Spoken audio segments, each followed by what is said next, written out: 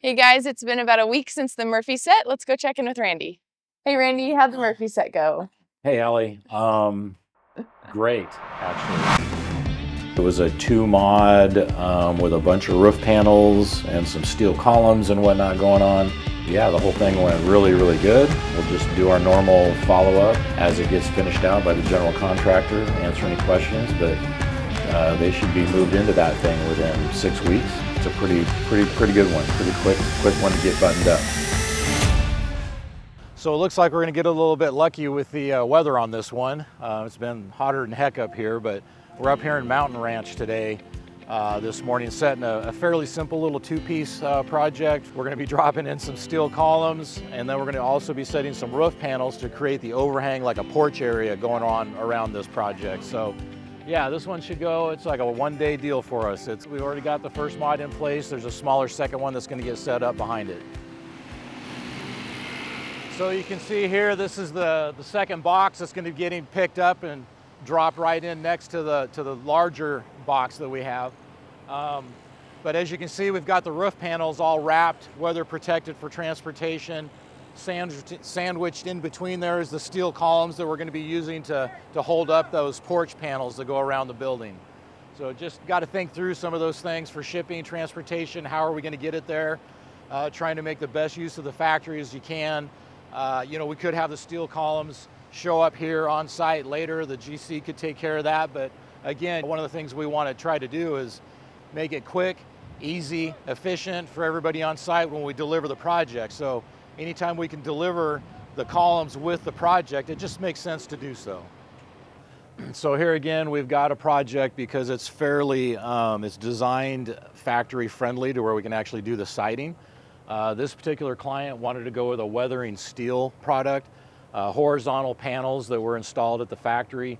Uh, you can see where some moisture has already hit it.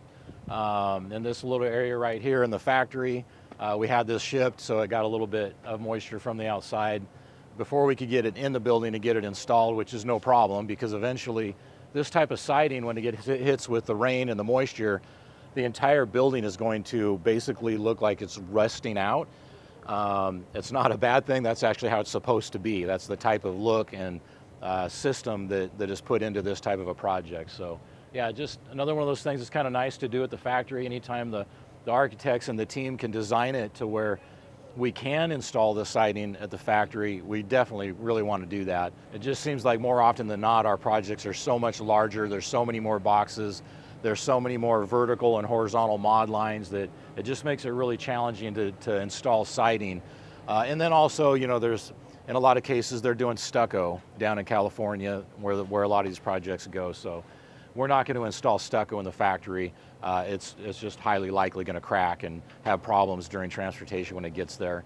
But again, the biggest factor is when you have uh, multiple mod lines throughout a project, it just doesn't, you have to leave so much siding off, it just doesn't make sense to do the siding in the factory. But for this one, we can do it, so it's going to turn out great. So I guess this, this is that moment where we want to make sure that this actually works.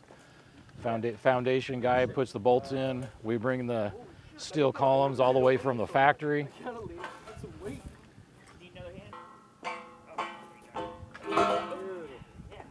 Just like that. It's all just part of the process, trying to coordinate and organize everything here locally with, with the factory, getting the, the bolts poured in the right spot, getting the columns made right. We'll get all these columns staged and put in, and then we'll start putting roof panels on.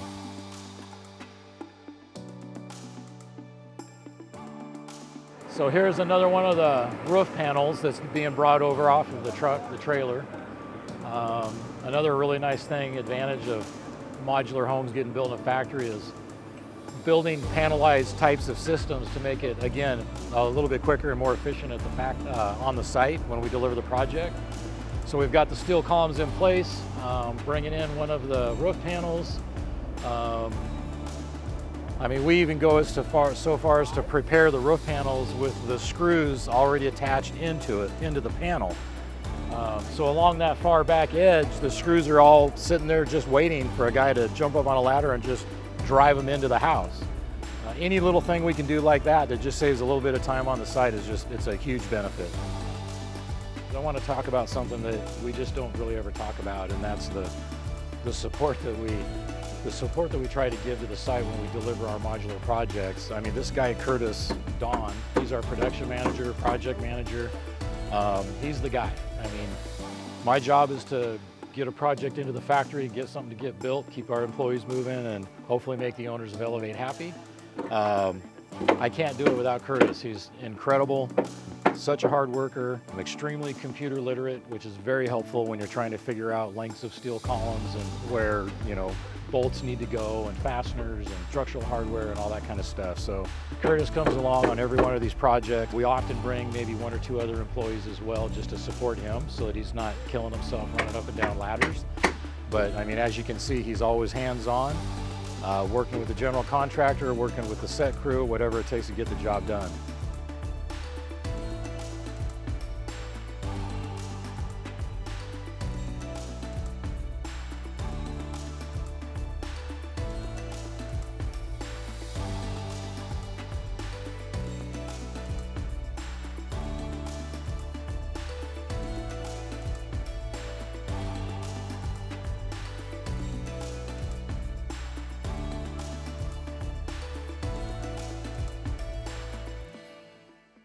So that was the first of like four projects we're trying to get out in the next couple weeks here. Yeah, um, we've been really busy. So we, we do have four projects that we've been getting wrapped up. Um, the first one that we just returned from was Harbin Hot Springs, um, which that was a, a great project. Um, and now we just finished um, wrapping up the one in Murphy's that we just set. Um, it's actually in Mountain Ranch. Murphy's is the town real close to that uh, location that we stayed at. This coming Saturday, we're actually shipping out another four mod project. It has a couple roof panels that are with it as well. That's the one going to Bear Valley. So next week, that's where we're going to be on site, uh, getting getting that project set up in Bear Valley. And then in about a month, we're shipping the Napa project. That's the last project this year. Yes, that's the fourth one that we'll get it shipped out here in the next three to four weeks, going to Napa Valley down there. Um, again, that's a great project. Um, lots of mods on that. Uh, really looking forward to getting that one shipped. It'll be a lot of fun. Uh, yeah, and then we're gonna hit the reset button, and we've got three more of them lined up. Um, right after we get that one shipped, we're gonna start framing one that goes down to Belvedere, California, and then a couple more after that. So it sounds like we've got some exciting things coming. Um, if you guys have any questions, leave them in the comments below, and we'll keep you updated. Thanks for following along.